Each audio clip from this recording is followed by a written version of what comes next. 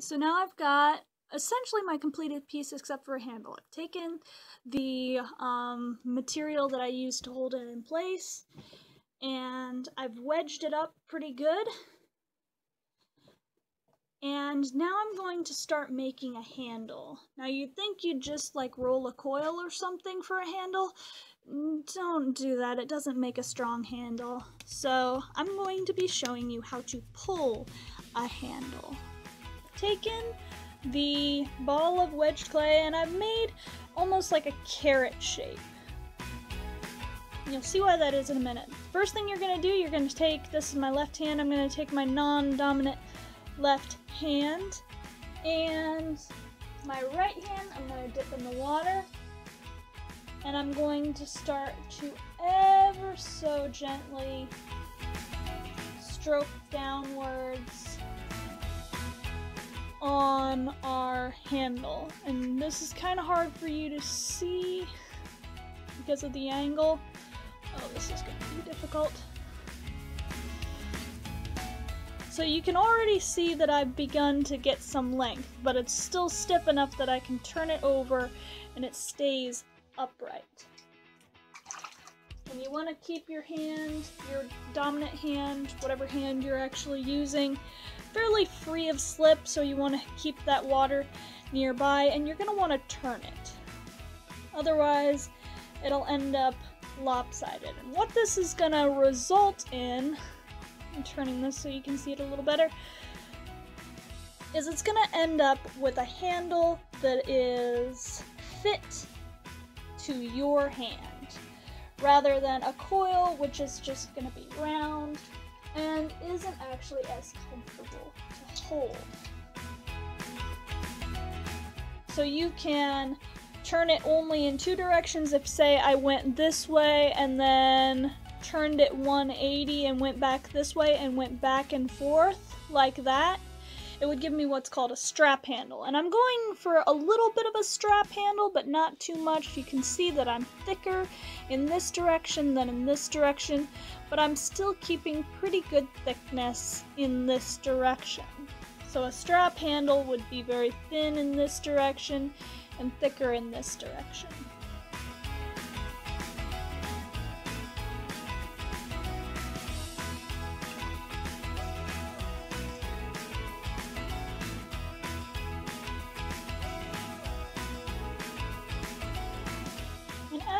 Making your handle, you want to always bear in mind the pot that it's going to go on. So I've got my pot sitting right over that way and I keep looking at it to make sure that I'm not making my handle either too big or too small for my pot.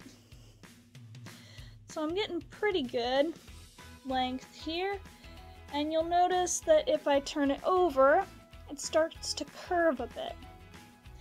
So I just need to get a little bit more clay off here and work it downward and I'll have a good handle. Okay, so now I've got a handle that's about the length I want it to be.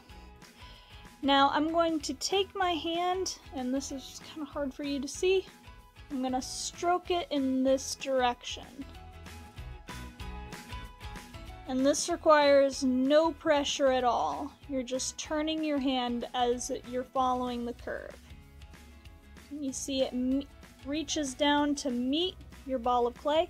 This is the um, curve that's going to have the strongest handle for this thickness. So in a second here, I'll show you how to get your now completed handle off of your ball of clay.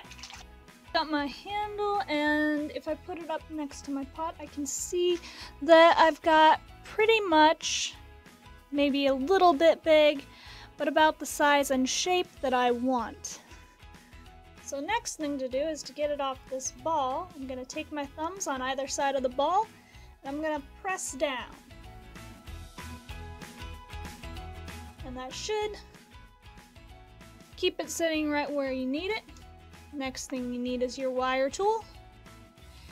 And this part is a little tricky. You're going to, first of all, line up where you're cutting with the bottom. You're going to figure out where you want to cut. And I personally like to cut a little closer to the bottom of that curve. Once you're there, you're going to reach around and you're going to pull towards this point right here with this hand while supporting the handle with this hand. So first needs a little bit of help. Once you're through a little bit, it's gonna come right off. You're gonna need to support that handle. So now I have my handle and I'm gonna set that right on the table. It's a little bit crooked. So if that happens, you're just gonna smooth it down to the table.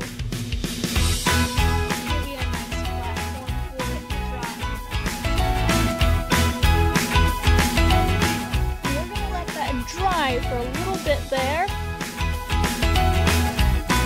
Okay, so I now have my completed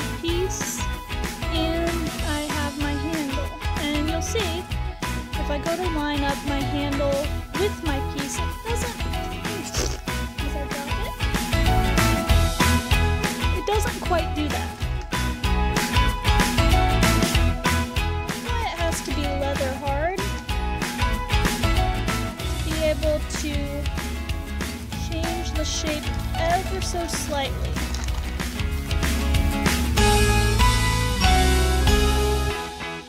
until it lines up. Once you have that line up, you're going to take your needle tool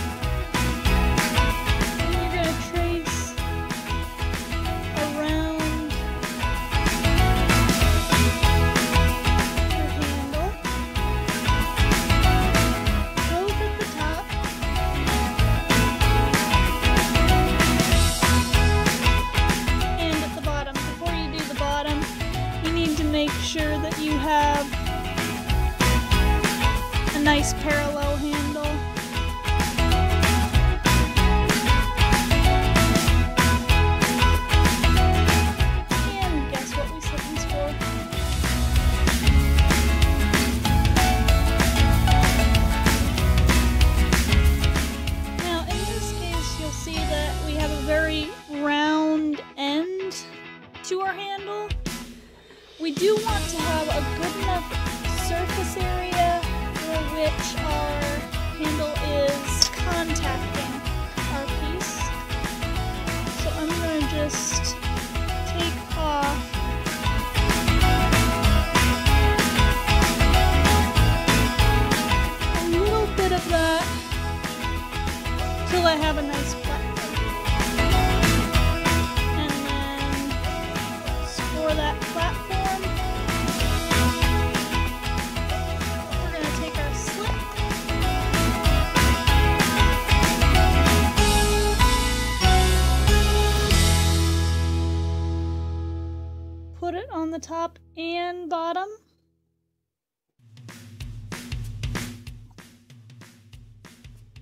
Put the rest of it on the actual handle.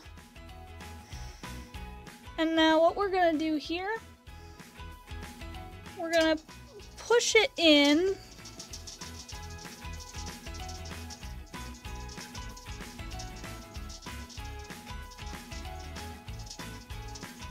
Top and bottom until our slip comes out around the edge. And we're just gonna rock both sides back and forth until we feel that there's a firm attachment between our pot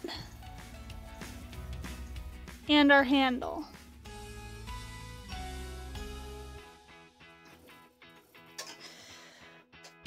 Once we wiggle it till it won't wiggle anymore, we're gonna smooth around So we have a clean transition between our handle and our pot. And there's two reasons that we do this. First of all, so it looks nice and neat. if that matters. And second of all, it will reinforce and strengthen the attachment between our handle and our pot. If we don't smooth out that transition, there's less of the handle that actually ends up in firm contact with our pot. And so that attachment is weak, which can either result in the handle cracking off during firing, which is sad, or it could crack many years later and just not have a nice marriage to your piece. So for right now, of course, we can clean that up a little bit more later. You can see I've got little uh, bits of slip around on the surface of the piece. That is completely fine. But we now have a nice handle with a firm attachment to our mug. And that is the conclusion of how you make a mug.